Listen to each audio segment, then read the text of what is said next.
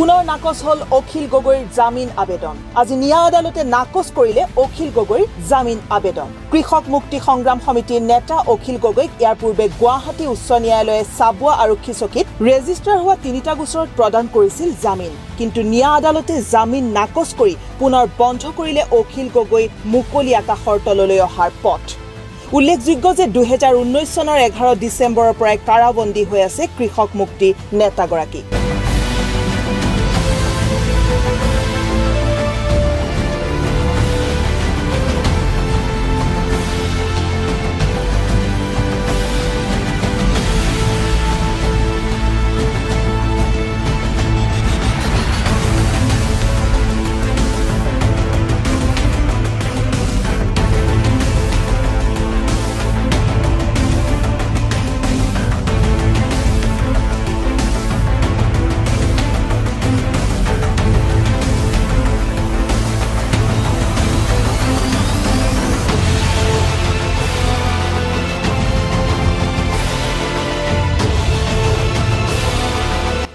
News desk report the Horizon